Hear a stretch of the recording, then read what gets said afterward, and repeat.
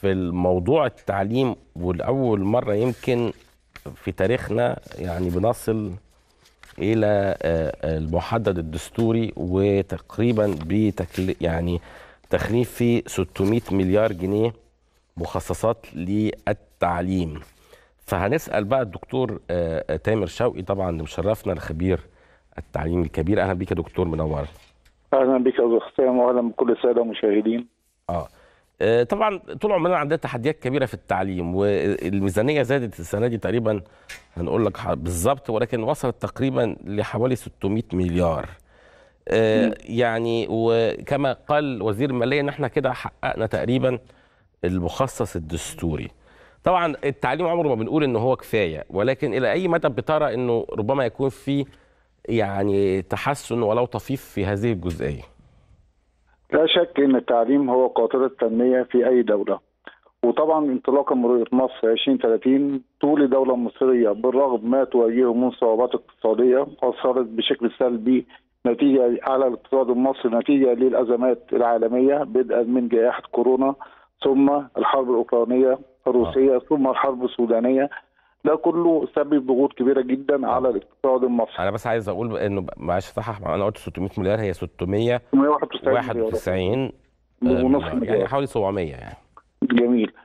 فبالتالي أنا عندي الأرقام وكنت هقول لحضرتك عليها يا فندم. آه. وبالتالي رغم كل هذه الضغوط الاقتصادية إلا إن الدولة المصرية ممثلة في الحكومة اولت اهتمام كبير بالتعليم، ليه؟ عشان التعليم هو يعتبر العلاج أو الوسيلة الأساسية لعلاج كافة المشكلات التي يمكن أن تعاني منها مصر، وإن شاء الله هو هيبقى الأداة للنهوض الاقتصادي في جميع مناحي المصرية. طيب الدولة المصرية أو الحكومة قررت تخصيص ما ما يقارب حوالي 691.5 مليار جنيه في الموازنة الجديدة وده ما يقارب الاستحقاق الدستوري تقريبا ودي حاجة إيجابية وجميلة جدا على الرغم من وجود ضغوط كبيرة جدا على الاقتصاد المصري.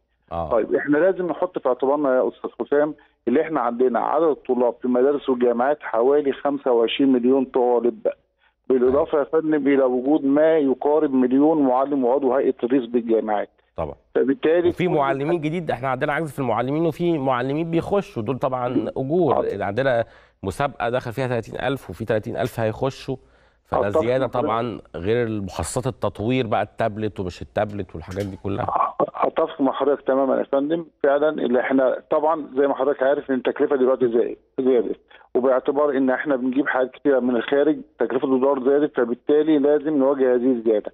طيب إحنا زي ما حضرتك قلت كده إحنا محتاجين الفلوس ديت في إيه يا فندم؟ أول حاجة زي ما حضرتك اتفضلت وقلت اللي إحنا محتاجين نعين كما قرر السيد الرئيس حوالي 30000 معلم سنويا. وإحنا في صدد تعيين الدفعة الأولى العام ده خلال الأيام القليله القادمة. وكده.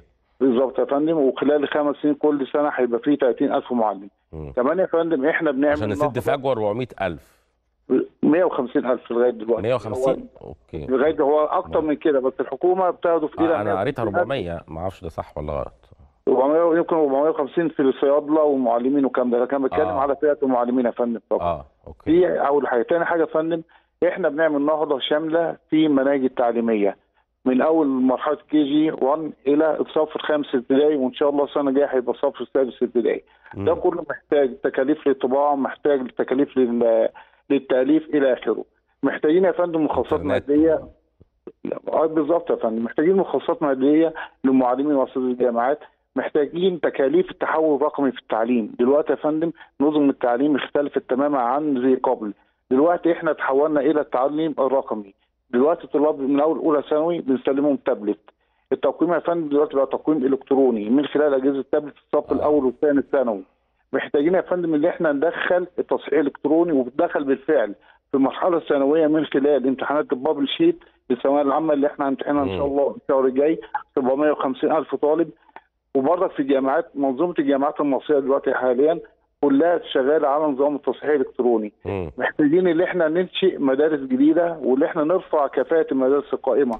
حضرتك طبعا سمعت عن مشاكل كانت موجودة في بداية العام الدراسي نتيجة لسوء حال بعض المدارس وإن في أسوار وقعت إلى آخره. طيب محتاجين إن إحنا نصرف على تدريبات المعلمين سواء اللي هم جدد أو اللي هم موجودين في الخدمة عشان نطور من أدائهم.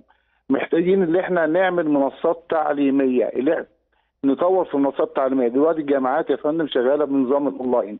يعني أنا في جامعة عين شمس أسبوع بندرس عن طريق المباشر في الجامعة والأسبوع الثاني عن طريق أونلاين.